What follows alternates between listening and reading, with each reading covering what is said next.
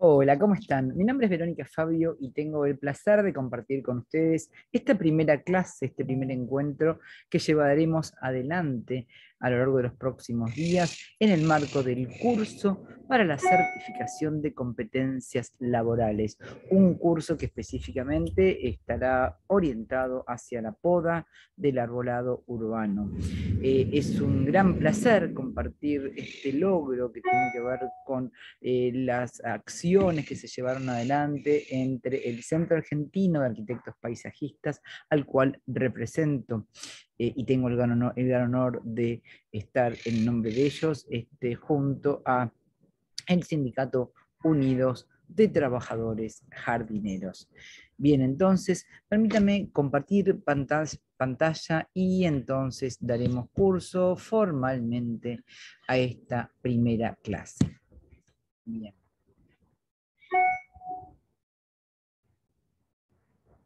Y así entonces, como les decía, eh, esta es eh, la primer, el primer encuentro que tenemos a lo largo de este curso. Eh, les repito, mi nombre es Verónica Feo, yo soy ingeniera agrónoma y especialista en arquitectura del paisaje. A su vez estoy cursando hoy un doctorado y por otro lado soy profesora de la materia vegetación en la licenciatura de Planificación y Diseño del Paisaje de la Universidad de Buenos Aires. También soy investigadora, también fui presidente del Centro Argentino de Arquitectos Paisajistas y por otro lado estoy en este momento llevando adelante un proyecto de investigación, acción, que tiene que ver con la posibilidad de que las plantas ayuden a disminuir la contaminación en las ciudades. Un proyecto muy interesante que probablemente en otro momento podemos contar. Nuestra primera clase entonces se denomina anatomía vegetal. Quizás los nombres que empiecen a escuchar este, o ver a lo largo de este curso pueden resultarle, seguramente los tienen guardados en algún momento que lo han visto o escuchado, eh, y pueden resultarle quizá un poquito a lo mejor raro o difícil, pero realmente no se preocupen porque esto está todo grabado, esto queda todo aquí, en el momento que quieran verlo está, pero más allá de recordar esos nombres, quizás lo más importante es que entendamos el concepto la función, para qué sirven cada una de estas partes que iremos viendo. Y justamente cuando hablamos de anatomía vegetal, vamos a estar concentrados y vamos a estar puntualmente viendo qué pasa dentro del vegetal, porque justamente la anatomía vegetal tiene que ver con la estructura interna de los organismos vegetales. O sea, ¿qué pasa dentro de las plantas? Es un viaje interno que vamos a hacer adentro de las plantas. Dentro de la anatomía vegetal tenemos diferentes áreas, pero bueno, solamente para saber está la citología, que es el estudio de las células, que es la unidad mínima que tienen los seres vivos, la histología, que es cuando esas células se reúnen eh, y forman entonces los tejidos, mientras que eh, también, y al final de esta clase, vamos a estar viendo lo que se llama la anatomía descriptiva. ¿Y a qué nos referimos con anatomía descriptiva? Al estudio detallado de cada una de las partes u órganos adultos del vegetal. Así que bueno, los invito a recorrer este camino. Este camino entonces, que estará dividido en tres partes, eh, les decíamos puntualmente que la anatomía general tiene que ver con la organización interna de las plantas, y entonces estas tres partes que decíamos es la célula, que habíamos hablado de la citología, de los tejidos, que era el conjunto de la histología, y después en relación a los órganos, que era la anatomía descriptiva. ¿Qué vamos a ver entonces en relación a la célula? Las partes que tiene una célula, en cuanto a los tejidos, los tejidos que componen entonces esta planta, este árbol, que es el objetivo final de nuestro curso, y cuáles son los órganos más importantes que vamos a tener este, que tener en cuenta a la hora de podar, qué características tienen entonces estos órganos que nos permitirá una, eh, un resultado beneficioso y positivo de la poda final que queremos hacer. Hablamos entonces de algo muy importante que es la célula, la célula que es la unidad básica estructural funcional de todo ser vivo. Digo, animales y plantas tienen como la unidad básica, funcional y estructural a la célula. Pero hay una diferencia muy grande entre una célula vegetal y una célula animal. A nosotros nos interesa puntualmente esa diferencia y esas características que tiene esta célula vegetal. ¿Y cuáles son? Pero así como muy a grandes rasgos y para que quede solamente concepto acerca de una diferencia de una célula vegetal, y es que tiene una pared celular por un lado y cloroplasto. Son las dos cosas diferenciales que le dan al vegetal esta característica puntual, por ejemplo, de mantenerse erguido, de mantenerse estricto y parado, como puede ser un árbol, cosa que un animal, como ustedes bien saben, esto no puede. Bueno, entonces, esa pared celular es una de las diferencias que tienen las células vegetales que no tienen las células animales. Y a su vez, ¿se acuerdan que siempre se dice que las plantas oxigenan el ambiente, que las plantas, las plantas generan su propio alimento? Bueno, esto es a partir de otro otra parte que tiene estas células, otro de los componentes de esta célula vegetal, que es el, eh, son los cloroplastos, donde se hace la fotosíntesis, que es el lugar donde la planta transforma la energía lumínica, el agua y las sales minerales en el azúcar, que va a ser la energía con la que puedan vivir las plantas. Entonces, básicamente en en este chart estamos viendo que lo importante de una célula vegetal es la pared celular esa pared celular que está compuesta por celulosa, que es lo que le da la estructura. Por otro lado, también tiene una membrana plasmática, que es la que permite conectarse con el medio. Por otro lado, dentro del citoplasma tenemos la vacuola, que es donde se encuentra eh, la concentración de agua de las plantas, y por otro lado también tienen un núcleo donde se encuentra el, eh, digamos, la, historia genética del ADN, o sea, la, la, posibilidad de transmitir descendencia y con las características genéticas de los seres vivos. Esto también se encuentran en los animales. Bien, entonces, Entendido esto, lo más importante de esto tiene que ver con que esa célula vegetal es diferente del animal porque tiene esa pared celular y que por otro lado hace fotosíntesis en los cloroplastos. El segundo tema que queríamos conversar tenía que ver con los tejidos. Los tejidos es el conjunto de esas células que decíamos recién, que se van diferenciando y se van organizando según las funciones que van a cumplir en el vegetal. Entonces, una definición, los tejidos son conjuntos organizados de células que comparten una función, una naturaleza y un origen embrionario comunes. ¿Correcto? Bien, entonces las células, una vez que nacen, se van diferenciando y en esa diferenciación van a constituir diferentes tipos de tejidos. Y estos tejidos van a cumplir diferentes tipos de funciones.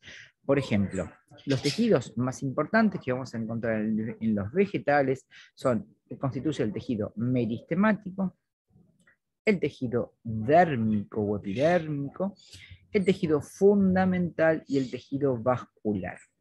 Esto lo vamos a ver en detalle cada uno, pero básicamente en, este esquema podemos entender que, por ejemplo, el tejido meristemático es el tejido de crecimiento que tienen las plantas y se encuentran en los ápices. En los ápices son los extremos que tienen las plantas, el ápice caulinar, que es el extremo del tallo, y en el ápice radicular, que es el extremo que tiene la raíz. Ahí es donde encontramos estos tejidos meristemáticos. Después vamos a ver que también se encuentran en los laterales que permiten el crecimiento en ancho, pero básicamente el tejido meristemático lo encontramos en, los ápices caulinares, en el ápice radicular y eventualmente yemas que vamos a ir contando. Después tenemos el tejido dérmico. El tejido dérmico es muy parecido al que tenemos, tenemos los animales o los humanos, digamos.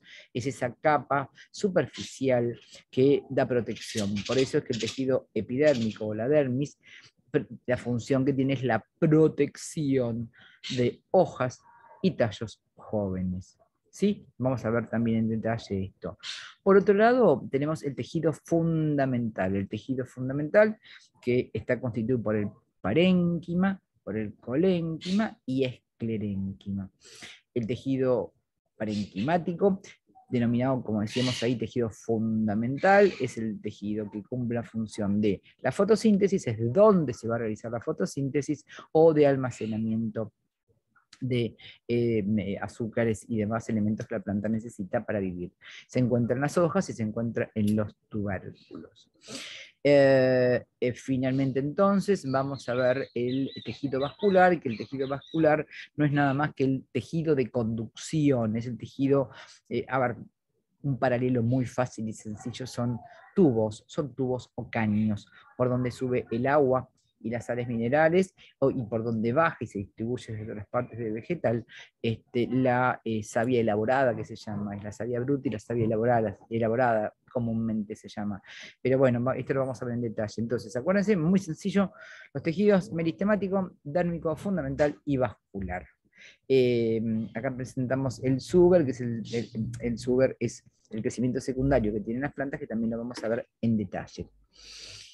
Empezamos entonces este, con este primer chart que tiene que ver con los tejidos meristemáticos. Los tejidos meristemáticos son un conjunto de células indiferenciadas responsables del crecimiento de las plantas.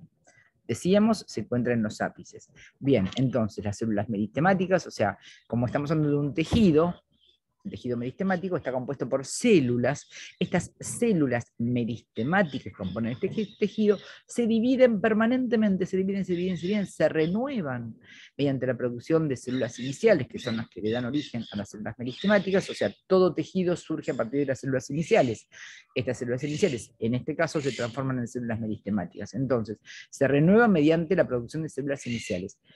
Y generan células derivadas que serán las que se diferencian más adelante. Es muy sencillo, hay, una cantidad de células básicas que son las iniciales, que se van dividiendo, dividiendo, dividiendo, se van diferenciando, y a partir de esto, entonces, estas células derivadas son las que se van a diferenciar en tejidos distintos. Son metabólicamente muy activas, se dicen que están siempre vivas en las plantas, se dicen que las plantas están en permanente crecimiento. Eh, que esto es fundamental, es muy diferente con respecto a animales y es recontra diferente cuando ustedes van a cortar, por ejemplo, una rama, este, van a podar, en este caso, el tejido meristemático, cuando uno realice una buena poda, es el que va a permitir que uno pueda, que, que, la planta pueda seguir creciendo y no terminemos con la vida de la planta. Entonces, a su vez, estas células tienen pared celular fina y núcleo grande. Los árboles solo crecen por los meristemas no pueden reconstituir tejidos dañados, ni generar tejidos donde no hay meristemas. Por eso es que, a pesar de que las plantas, los árboles y los vegetales siempre se, tienen la posibilidad de siempre estar jóvenes, tienen que ver con esto que una herida en una planta, por ejemplo, donde no haya un tejido meristemático, no se va a reconstituir nunca. ¿Correcto? Bien, entonces, en el cuadro vemos que tenemos en el, cuadro superior, este, en, el lápice caulinar, el, digamos, los primordios foliares, con los meristemas, con los primordios, con los meristemas, con el trocánter y el Mientras que después tenemos a la altura del tronco los meristemas laterales, que están en el crecimiento secundario, que es el cambio y el fenógeno.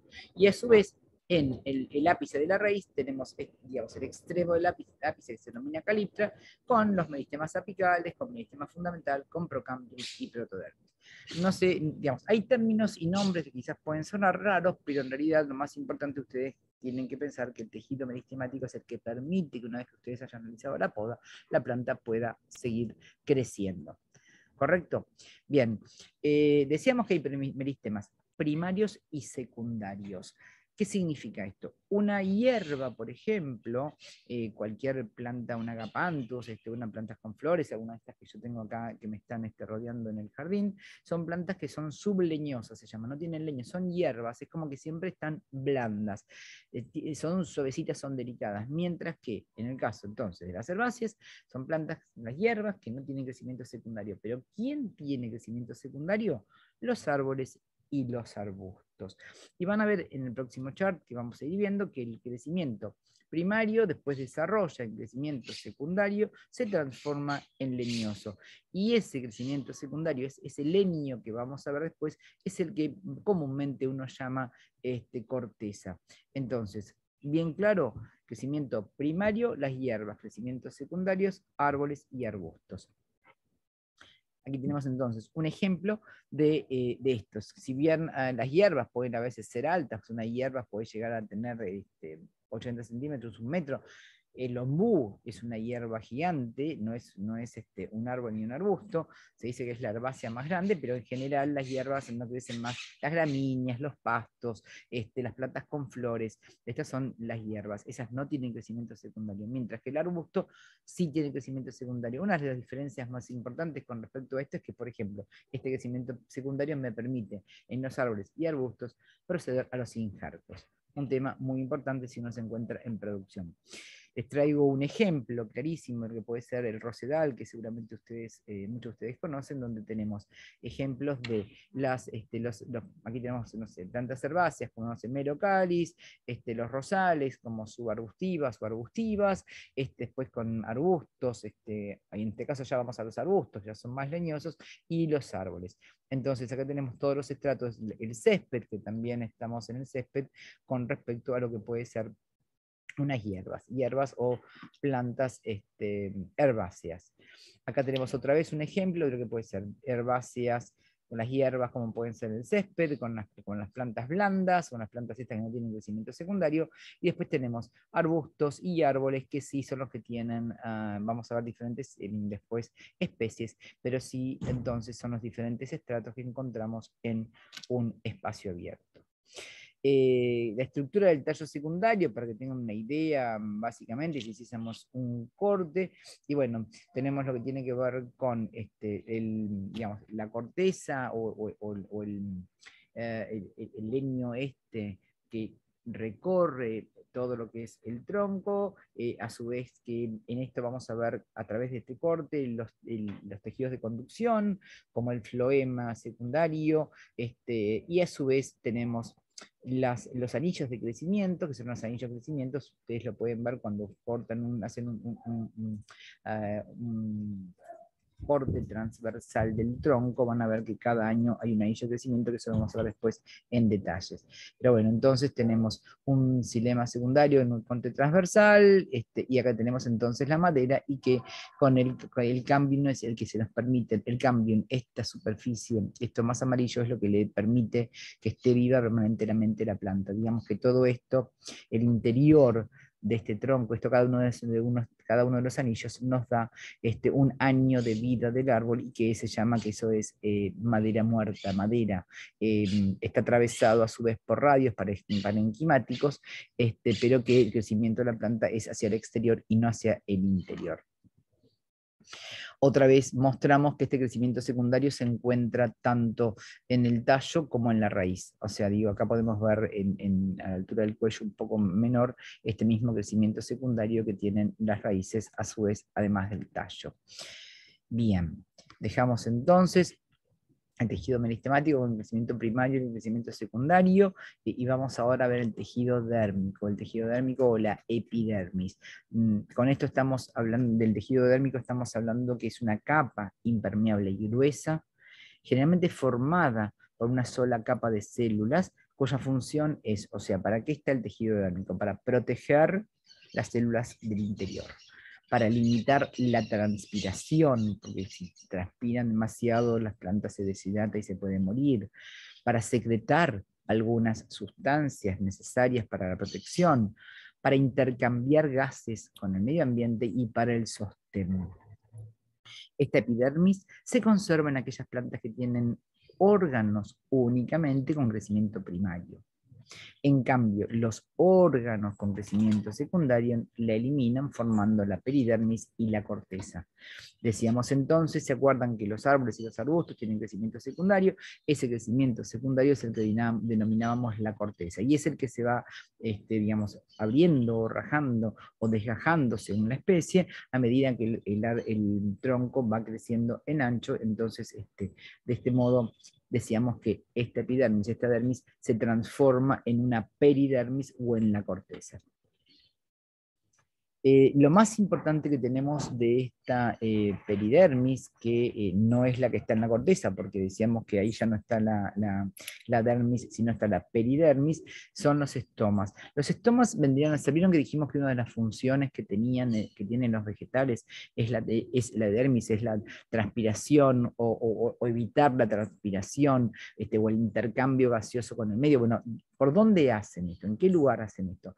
Esto lo hacen a través de los estomas. Los estomas están formados por células epidérmicas, obviamente, porque estamos hablando del tejido epidérmico, especializadas, compuestas por dos células oclusivas. O sea, como si fueran dos riñones unidos o como dos porotos unidos, este, y en este caso, entonces cada una de estas células oclusivas, al, unirse, en el centro dejan este famoso estíolo. Entonces, em, se ubican en las partes verdes aéreas de la planta, preferentemente en las hojas y a su vez en la parte inferior de las hojas, en, en el embés de las hojas.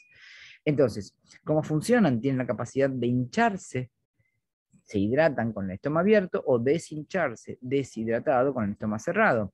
Y así abrir el ostíolo que comunica el exterior con la cámara subestomática. Entonces estos se abren y se cierran de acuerdo a las necesidades de temperatura y humedad del medio para que la planta se mantenga con la temperatura este, apropiada.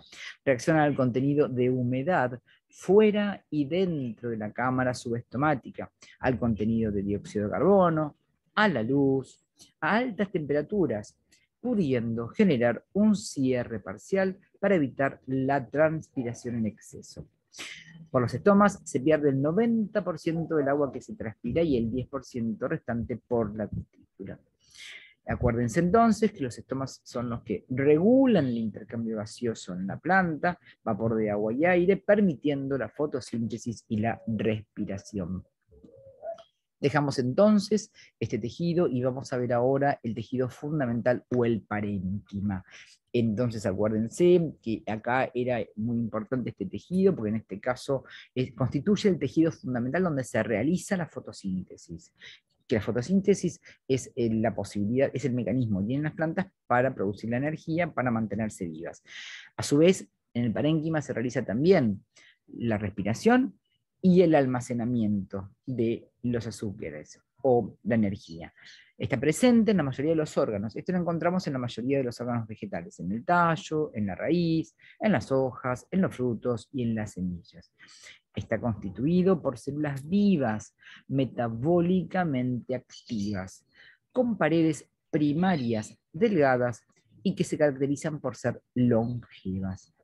Eh, hay cuatro tipos de parénquimas solamente como dato anecdótico para que ustedes lo tengan, está el parénquima clorofílico o clorénquima, es el parénquima donde se hace la, fotosíntesis. Después tenemos un parénquima reservante o acuífero.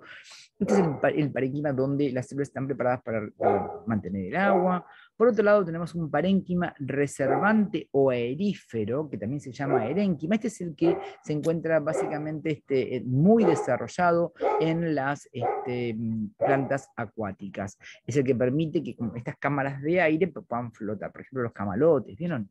Bueno, y por otro lado tenemos un parénquima conductor. Eh, a, nivel eh, microscópico, si hacemos un corte y queremos observar, tienen diferentes formas, diferentes colores, digamos, lo que eh, representan cada una de las células que componen estos, los parénquimas.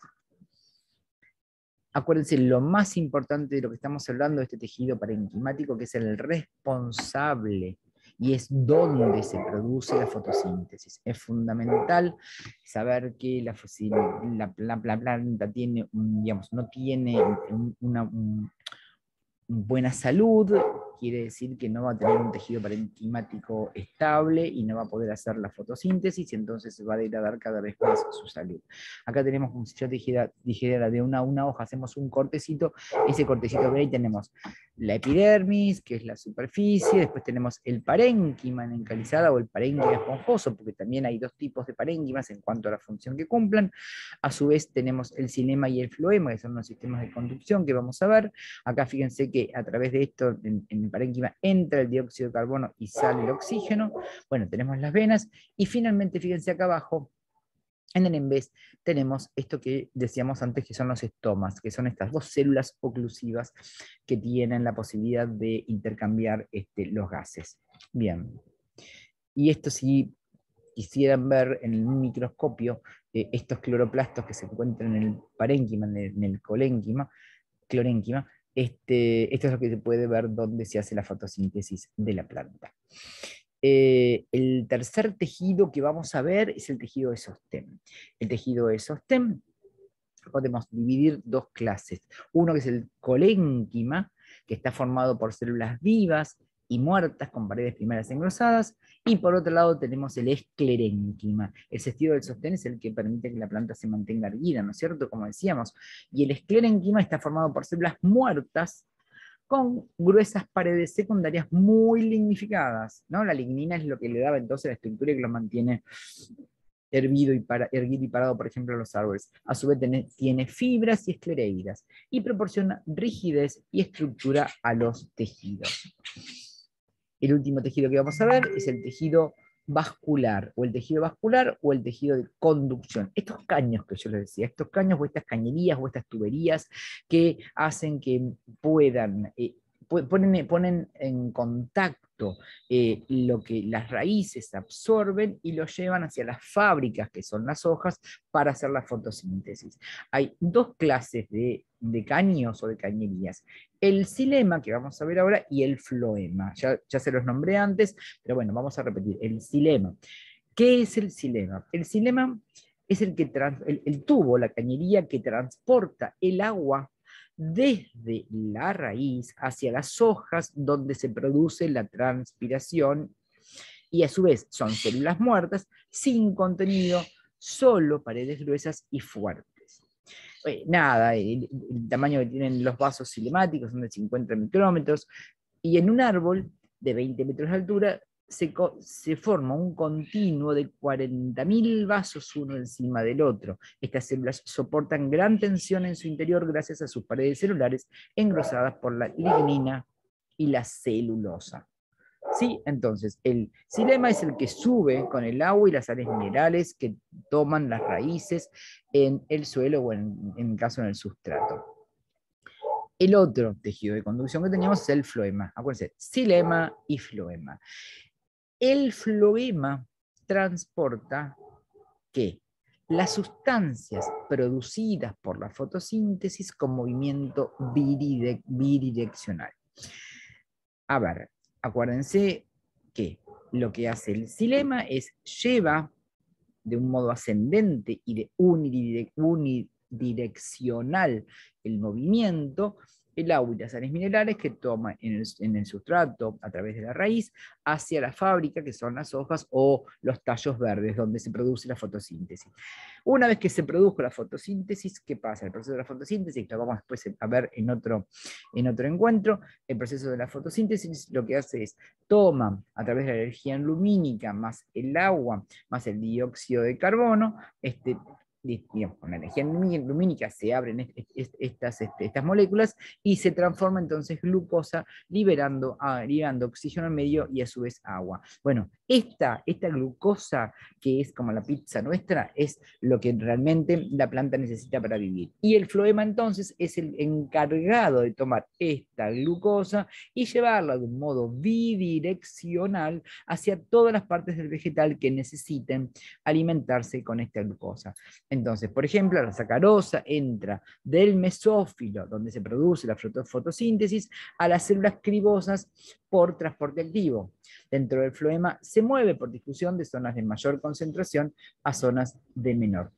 Muy sencillo, no quiero que se compliquen para nada, solamente saber que estas tubos, estas cañerías, se llaman silena y floema, que una sirve para subir este, el agua y las minerales, el otro para distribuir los azúcares hacia todas las partes del vegetal. Bueno, si hacemos un corte este, en detalle y lo ponemos al microscopio, vamos a ver acá, digamos, eh, la, forma que tienen estos tubos que veíamos antes en esquema de, de forma real, digamos, aumentada. Y acá tengo entonces este esquema muy sencillo, que no es para complicarse, pero sí es para ver que, fíjense, a través del suelo, de las raíces, entra, digamos, el agua y las sales minerales, atraviesa las membranas, la pared unificada, y por este, e, esta línea azul nos está diciendo que es el silema que está entrando y que está llevando hacia la fábrica que son las células de los cloroplastos del parénquima para hacer la fotosíntesis. Una vez que ya esté hecho el, azúcar, esto, la savia elaborada, como se dice vulgarmente, esto se lleva, digamos, a través del floema, se va distribuyendo de modo bidireccional en aquellos lugares o células o tejidos que necesita la planta para vivir. Bien, en esta primera etapa ya hemos visto entonces la importancia de las células y los tejidos. Ahora vamos a ver la tercera parte de esta clase que habla de los órganos vegetales. Eh, ¿Se acuerdan que decíamos que es la anatomía descriptiva, los órganos vegetales? Para esto traemos una hermosa foto de un eh, jacarandá, uno de mis árboles preferidos, eh, tan representativos en la ciudad de Buenos Aires y que probablemente más de uno de ustedes se haya tocado este, acercarse y seguramente lo tendrán que podar en algún momento. Eh, entonces, bueno, sacando este, esta foto del jacarandá mimosifolia, estamos viendo que, por ejemplo, esquemáticamente hablamos de, de las flores, los órganos, vamos a hablar de las raíces, vamos a hablar del tronco y vamos a hablar de las hojas y fruto, o sea, flor y fruto. Bien, órganos. Empezamos por la raíz. ¿Qué es la raíz y cuál es la función? Entonces, las raíces es el órgano subterráneo en la mayoría de las plantas, en este caso de los árboles, este que cumplen la función de anclar el árbol al suelo, anclaje al suelo. Es, la raíz es la que absorbe el agua y los nutrientes y a su vez también tiene la capacidad de hacer reserva y almacenamiento, a su vez de el transporte de sustancias orgánicas. Entonces, reserva, almacenamiento y transporte de sustancias orgánicas. Eh, si nosotros este, tomamos en detalle el sistema radicular, está compuesta por raíces adultas o raicillas, o sea, raíces más jóvenes y raíces más viejas, desde otro lugar. Eh, las raíces adultas se encuentran en, encontramos distintos órdenes, distintas clases y están dignificadas. Son las que anclan, las que permiten que la planta esté absolutamente rígida, estructurada y eh, arraigada al suelo. Eh, son las que anclan el árbol al suelo y cumplen funciones de reserva de sustancias. Por otro lado, las otras raíces, las raicillas, las más delgadas, las más delicadas, las más pequeñas, las más eh, mm, blandas de algún modo, que no están lignificadas, eh, son las que están en pleno crecimiento y son las que absorben el agua con los nutrientes. Esto es fundamental, porque cuando ustedes tengan que este, hacer no solamente podas, sino que tengan que eh, hacer algún tipo de mantenimiento en el árbol, en los árboles, se van a acordar que este, mm, lo que uno ve casi sobre la superficie son estas raicillas. Y estas raicillas son las que cumplen la función de absorber permanentemente el agua para llevarla, ¿se acuerda como decíamos otra vez, hay florema, este, a, hacer la fotosíntesis? Bueno, si nosotros este, mm, eh, interrumpimos hacemos tareas este, que puedan dañar estas raíces, la planta va a sufrir y va a tener, digamos, un deterioro posterior. Eh, hay diferentes formas del sistema radicular. El sistema radicular Depende entonces de la especie del vegetal que estemos hablando, en la misma raíz de jacarandá que un palo borracho que un ombú, o perdón, que un este, quebracho o palo borracho. Depende de la edad, una cosa es un árbol joven, con otra cosa es un árbol mucho más adulto. El tipo de suelo que tiene, las raíces se adaptan a los tipos de suelo, el tipo de suelo tiene que ver con la textura y estructura. A su vez depende de la cantidad de agua disponible, porque si el agua está sobre la superficie no tendrá que desarrollar demasiado para ir a buscarla, y si está eh, más en el interior tendrá que eh, desarrollar más, eh, más distancia y, más volumen para tomar en, en el en el lugar donde esté, que no esté sobre la superficie. Y a su vez, si hay muchos árboles que están compitiendo en el entorno. Eh, si hacemos un corte, eh, vamos un minuto atrás.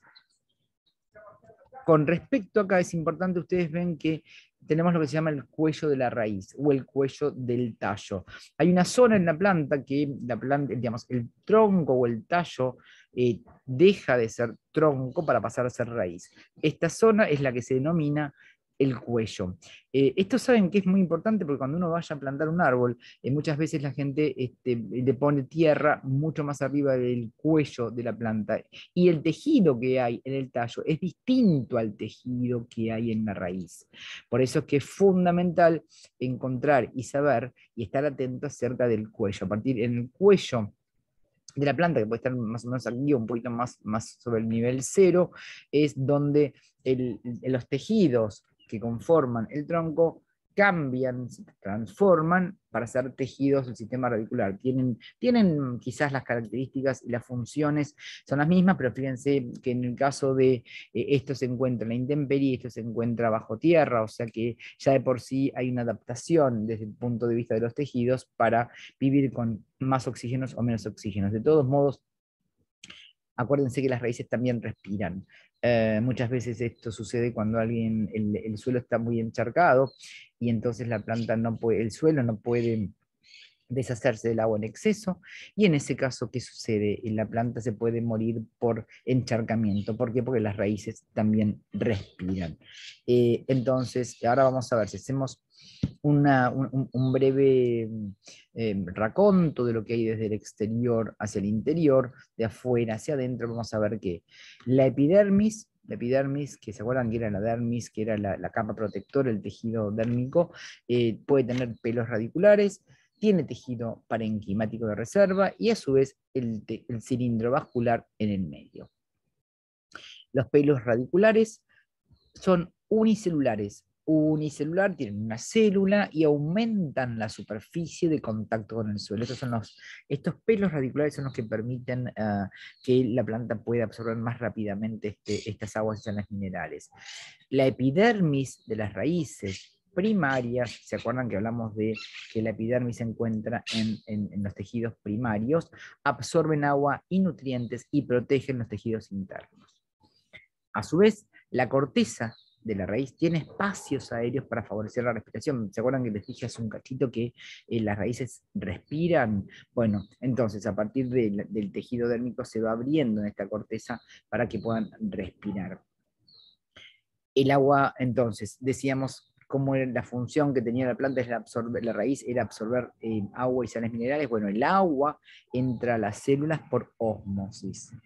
Estas poseen un potencial osmótico alto muchas sales y moléculas en su interior, entonces el agua, a través de las sales y las moléculas en su interior, el agua se mueve hacia allí. El agua dentro del vegetal, se mueve por vía apoplástica, por las paredes celulares, y también la simplástica en el interior de las células, siguiendo un gradiente de potencial hídrico. Entonces, fíjense ustedes, acá tenemos una sola, una, hacemos un, digamos, un, recorrido por lo que puede ser la raíz. Acá teníamos el corte transversal, pero acá tenemos lo que es una raíz en vertical. Tenemos una zona de ramificación, una zona de pelos radiculares, con una zona de diferenciación y una zona de elongación. Y acá se acuerdan que teníamos, habíamos dicho antes, Hofia o Caliptra, que era la zona del el meristema. ¿Se acuerdan que el tejido meristemático era que nosotros decíamos que permanece siempre joven en la planta? ¿Listo? Raíz, más o menos, eh, es importante saber cuando vayamos a hacer mm, tareas de trasplante más que de poda, es importantísimo saber que así como está la poda de la parte de aire, está la poda de raíces. Y conocer el sistema radicular que tiene la planta y conocer cuáles son las funciones de las plantas, permitirá que ustedes le den una mayor vida a ese árbol. Entonces, fíjense en que acá tenemos básicamente eh, que según las especies tenemos los tipos de raíces, pero para hacer una síntesis decimos que las raíces finas son raíces efímeras, abundantes, ligeras y superficiales, mientras que las raíces leñosas son duraderas, escasas y pesadas. ¿Qué significa? Que una raíz fina, una raicilla, está permanentemente en renovación. Si uno corta algo, la planta vuelve a ser un sistema radicular este, fino de, raíz, de raicillas muy rápidamente, mientras que en una raíz leñosa tarda mucho, mucho más en llegar a tenerlas. Las raíces de los árboles pueden ser, dependiendo de las especies, muy, superficiales, mientras que otras muy profundas. Bueno, dejamos entonces la raíz y vamos al tallo. El tallo entonces cumple las funciones en la planta de transporte de sustancias, savia bruta, se era el agua, las sales minerales los nutrientes, y por, ahí, y por otro lado la savia elaborada, que era el agua más los azúcares, que es lo que el floema después distribuye hacia todas las partes del vegetal. Por otro lado, el tronco como el cumple las funciones de reserva y almacenamiento de carbohidratos. Eh, a su vez, es el soporte de los órganos fotosintéticos. ¿De quiénes son? Las fábricas que yo les decía, que son las hojas. Las hojas, eh, digamos, ustedes vean hojas verdes o eh, pecíolos verdes o incluso algunas plantas que tienen tallos eh, con, con, cloroplastos verdes, ahí se hacen la fotosíntesis. Y a su vez, el tallo es el que cumple como de nexo, como de conector entre la raíz y las hojas. ¿Se entiende? Se denomina vástago al tallo más las hojas.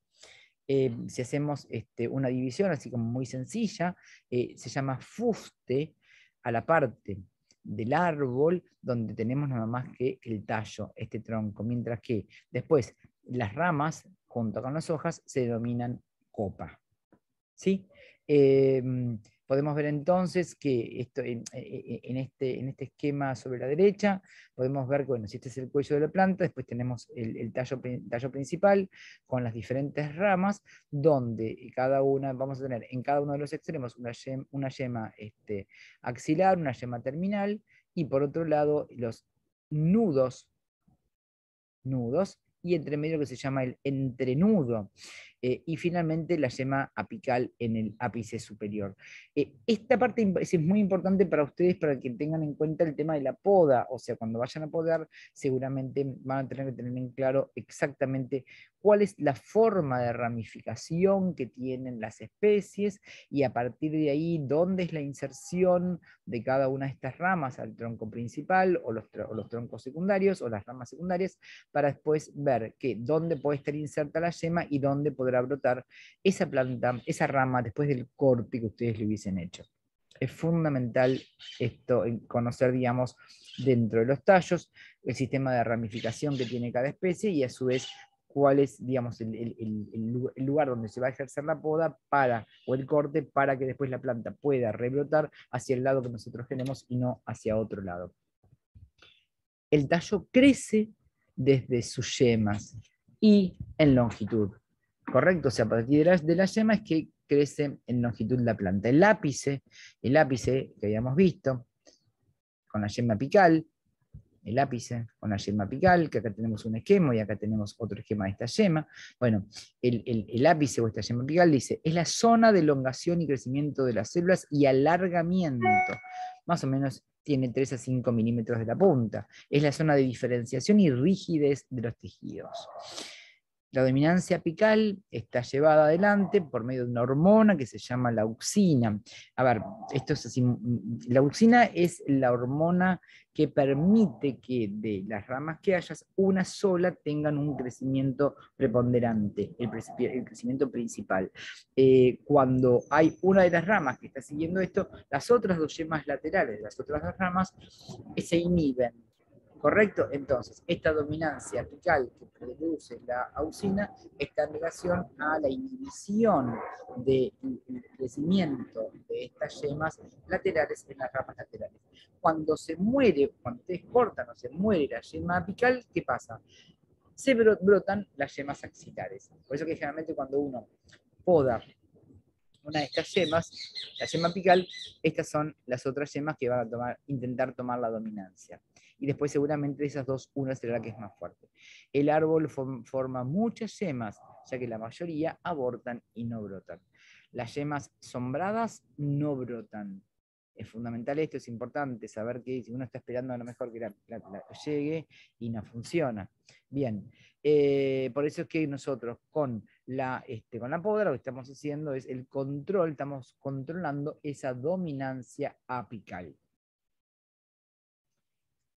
Eh, ¿Se acuerdan que decíamos que vástago era el tallo más las hojas? Bueno, entonces estamos acá viendo este, distintos vástagos, distintos vástagos que tienen sus yemas. Ustedes saben que eh, reconocer las plantas, eh, para reconocer los árboles o las, plantas, uno los reconoce por un montón de, por los órganos, los reconoce por la hoja, lo reconoce por la flor, lo reconoce por el fruto, pero también los podemos reconocer por los vástagos. Y acá tenemos diferentes eh, esquemas, diferentes formas de algunos de los árboles que tenemos en la ciudad, este, y que justamente lo que estamos viendo entre uno y otro, supongan, por ejemplo, es la diferencia que hay en, de la yema entre uno y otro, por ejemplo, la distancia entre uno y otro, fíjense, con las cicatrices, las cicatrices es cuando se cayó, un, por ejemplo, una hoja, entonces este, ahí tenemos una cicatriz. Entonces fíjense que tenemos diferentes yemas, diferente diferenciación en cuanto a cómo está la yema puesto según la especie del árbol. ¿Se acuerdan que decíamos antes que, por ejemplo, eh, las raíces dependían de las especies? Bueno, en el caso de los tallos y los troncos también, y la ubicación de las yemas en estas plantas depende de cada especie. Lo que comúnmente llamamos entonces este, a este tallo con el crecimiento secundario es el tronco, el tronco del árbol. El tronco que vamos a ver ahora en otro esquema mucho más sintético, donde ese tronco tiene lo que podemos decir el duramen y la albura que es este, el duramen es el que está en el centro, que está compuesto enteramente de células muertas, que es la columna central que da soporte al árbol adulto. Eh, por otro lado, teníamos la albura, que es, está constituida por el tejido cinemático que contiene las traqueidas y los miembros del vaso a través de los cuales el agua puede subir y bajar, se mueven junto a las aguas y, los sales minerales, y que van, se acuerdan, desde la raíz hacia las hojas. Cuando se mueren las células parenquimáticas vivas del cinema, la albura se transforma en duramen. Y esto es entonces lo que de algún modo nosotros decíamos antes que es el anillo de crecimiento. Y es que si nosotros queremos saber la edad del árbol, podemos hacer ese corte transversal, que no lo vamos a hacer porque tendríamos que matar el árbol, pero sí, si ustedes ven un árbol que está cortado, sí pueden ver esos anillos de crecimiento. Pero también esto se hace, no hace falta matar el árbol para saber este, la del árbol a través de los anillos de crecimiento, sino que existen como unos sacas bocados, son, como unos, instrumentos que uno le saca como si fuera un, hace un agujerito en el árbol y saca todo como si fuera un lápiz que a partir de eso van a ver los años que tiene la planta. No hace falta matarlo y esto no es una, es una tarea muy mínima y muy delicada que no eh, lastima a la planta. Entonces, acuérdense que decíamos, nosotros en su momento que eh, teníamos el xilema y el floema. ¿Se acuerda? Bueno, en este caso hablamos que la albura está constituida por el, por el tejido cilemático, este, que año a año este, va a ir aumentando. Pero por otro lado, digamos, el cambium es lo que le daba la, vida, digamos, a, esta, a este tronco o a esta corteza. Y afuera del cambium tenemos entonces el floema, que conduce los azúcares producidos por la fotosíntesis a las raíces y hacia otras partes de vivientes no fotosintéticas de la planta. Eh, muchas veces, este, si esto fuera a, esta corteza, por ejemplo, en el caso del Quercus, Quercus em, suber, eh, esta corteza es lo que se denomina el corcho. El corcho es un tejido muerto que protege los tejidos interiores de la desecación, del daño mecánico de los insectos y otros herbívoros. El corcho, cambio suberoso y el, flema con, el floema junto constituyen la corteza del tronco. Eh, se llama a esto también corcho, pero también, para que tengan una imagen de lo que es eh, el corcho, existe esta especie vegetal, que es el Quercus suber, que es un pariente del roble, y que justamente esta corteza que estamos denominando nosotros ahora eh, corcho, genéricamente, en el caso del Carcusuber, esto es el corcho que se saca, que se vende como tal. Pero si no, este conjunto, entonces decíamos, el tejido muerto que protege, es, lo que es la corteza. Acá tenemos muy claramente, si hacemos un corte transversal del árbol, acá tenemos la albura, que es la parte clara de la madera, mientras que el duramen es la parte oscura. Entonces, la, parte, la albura es la parte clara de la madera que contiene células vivas que transportan y almacenan sustancias, mientras que la parte oscura es la que contiene solo células muertas, fíjense, solo células muertas, impregnadas con taninos que protegen a la madera, eventuales putrefacciones causadas por los hongos. Acá tenemos entonces, fíjense, esto es otro de los cortes con más detalle, donde el cambio es ese tejido meristemático que yo les contaba antes, que hace que la planta pueda crecer en ancho, y que entonces hacia adentro del cambio, cambio entonces vamos a tener el silema o la madera muerta con los anillos de crecimiento diferenciados de cada año. Y por otro lado, entonces, el floema es lo que está de parte de adelante del cambio, que es lo que está formando entonces la peridermis, que es la corteza. Eh, a su vez, estos, este, estos anillos están atravesados, están atravesados por radios, radios parenquimáticos, que son las, em, las células más longevas, más viejas que tiene un árbol, estas células parenquimáticas, que son las que almacenan los nutrientes. ¿Se acuerdan que les decíamos que teníamos, hay células del tejido parenquimático, que unas eran para hacer la fotosíntesis, otras eran para almacenar los nutrientes? Bueno, en este caso, estas son, acá se pueden ver en estos radios parenquimáticos que son, a través, son estas líneas, ¿ven? Son las que permiten que este, se almacenan los eh, nutrientes. Entonces, otra vez, volvemos. Tenemos esto lo que era la corteza, que es lo que cada se, va creciendo, se va rajando y va cambiando, y que cada planta tiene su característica distinta, su forma, su color, eh, su textura. Este, y después de la corteza teníamos el cambium, que es el que permanece siempre vivo y permite el crecimiento de la planta hacia el exterior. Y por otro lado, hacia adentro teníamos este, la, eh, la madera osilena. Bien, entonces ya vamos terminando y ahora vamos a ver entonces la hoja. La hoja, órganos aéreos de la planta, la hoja es el órgano de crecimiento definido que tiene una yema en su axila. Acá tenemos, ¿ven? Acá tenemos acá hay una yema que sale este tallito y acá tenemos la yema, ah, la yema foliar que permite que salga la hoja, la hoja que tiene una parte de lámina y una parte de pecíolo. Esto se llama lámina o limbo y esto se llama pecíolo, que es la que va a De acuerdo, ahora vamos a ver formas, diferentes formas que tengan las hojas, serán las especies vegetales. ¿Qué funciones cumplen las hojas? Cumple las funciones de fotosíntesis, las funciones de respiración y las funciones de transpiración. Es fundamental, digamos. Eh, acuérdense que después lo vamos a ver en diferentes, cuando veamos especies vegetales, tenemos las, eh, los árboles o los arbustos que son caducos y los que son perennes. ¿Cuál es la diferencia? En un árbol caduco, las hojas se pierden en invierno, entonces se dice que el follaje caduco. En un árbol perenne, como los coníferos, por ejemplo, no se pierden en las hojas en invierno. Eh, bueno, pero las funciones que cumplen básicamente es la fotosíntesis, la respiración y la transpiración.